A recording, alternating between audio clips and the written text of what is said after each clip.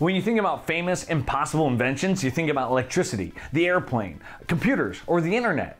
But there's one invention that has impacted people around the world, but we rarely think about elevators. They go to impossible heights and they lift impossible weights. So today we're gonna go figure out how do elevators actually work, and we're gonna do it with one of the most iconic elevators in the world, the Empire State Building.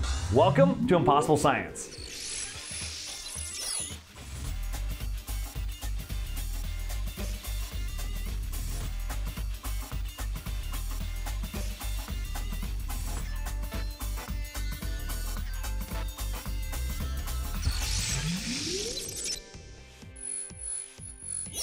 How cool is this? The Empire State Building is one of the most iconic buildings in the world, and it's an impossible engineering feat in itself. The Empire State Building was constructed without modern day machinery and in record time. So let's check out inside.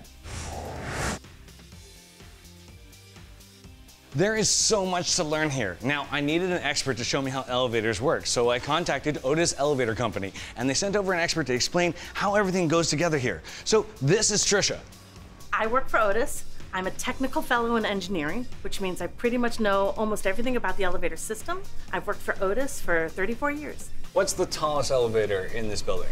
The tallest elevator in this building is actually an elevator for moving workers and freight and material. It's 986 feet tall. How many floors is that? 80.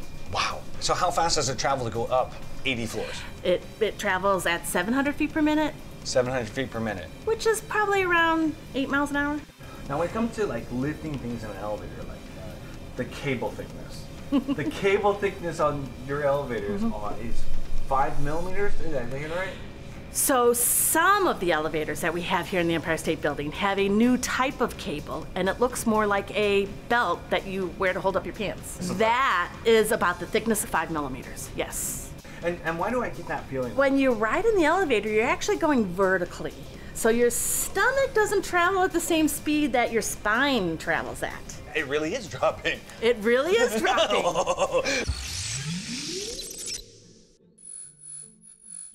Let's say you want to lift something super heavy and you're going to need super strength. Well, in science and engineering, we refer to that as a mechanical advantage. Now, let's say this cardboard box represents an elevator and your next passenger is Kong.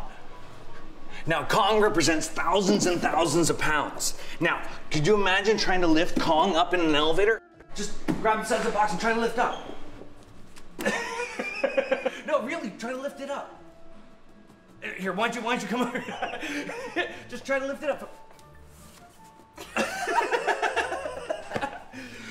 It's oh it's nearly impossible. This is so. No, no, because it's not your guy's mindset. It's actually because you need to have what's called a mechanical advantage. Now this is a mechanical advantage. A pulley. Now, if you were to take a pulley and actually strap it to the ceiling, and you had a rope over the pulley and back down, if you pulled it, it's actually not doing much because you're just lifting the weight of the box. But if the pulley head was attached to the mass and the rope went down and back up, it becomes a lot easier to lift. Here, go ahead and give it a shot. this just the same. the magic of a mechanical advantage. But an elevator's not a trick. So, how does it work?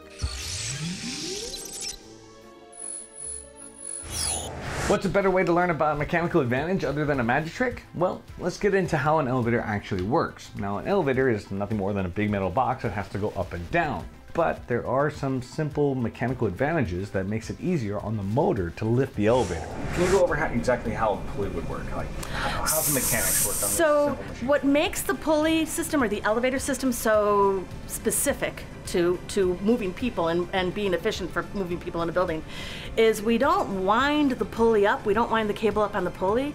We actually have the, the cable go over the pulley, and we have a weight on the opposite side.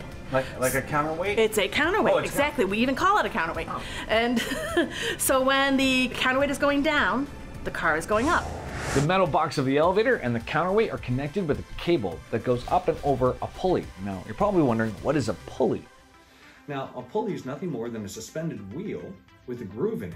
And this groove allows the thread or the cable or the rope that we use to actually not fall out. Now, one pulley by itself means you're pulling down with the same amount of force that you'd actually need to push up on the elevator, which doesn't help you much.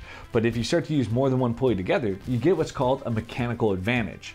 I want you to imagine that this represents a cable that's attached to the roof of the building, on the top of the building, goes down to a mass on an elevator. This will be our really heavy mass through a pulley, and then back up.